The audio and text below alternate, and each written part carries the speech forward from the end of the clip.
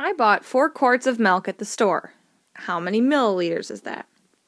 Looking at my problem, I know that we're starting with four quarts and we're ending with milliliters. Our conversion is going to be something that goes from quarts to milliliters. I'm going to start my problem out by making 4 quarts a fraction. 4 quarts, draw my line, put 4 quarts over 1. I have my fraction started. Now I need to look for my conversion factors. I look, there's nothing that goes right from quarts to liters. I find a conversion factor that says 1 quart is equal to 0.946 liters. And I know from my metric conversions that 1 liter is equal to 1,000 milliliters.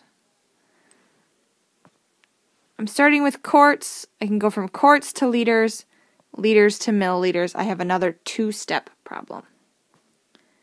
To take my conversion factors and I'm going to plug them into my fraction. For quarts is where I'm starting.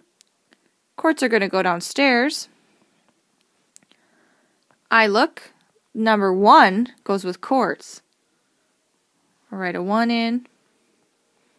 What is left of that problem is 0.946 liters. That's going to go up top. Conversion factor 1 is done. I have one conversion factor left to plug in. Liters is going to go downstairs. I look that the number 1 goes with liters. 1,000 milliliters is left. I've used both my conversion factors. I want to see if all my units cancel. Quarts cancel, liters cancel, and I'm left with milliliters, which is where I want to end. Now I just need to do a little bit of math. My top row, 4 times 0.946 times 1,000 is equal to 3,784. My bottom row, 1 times 1 times 1 is equal to 1.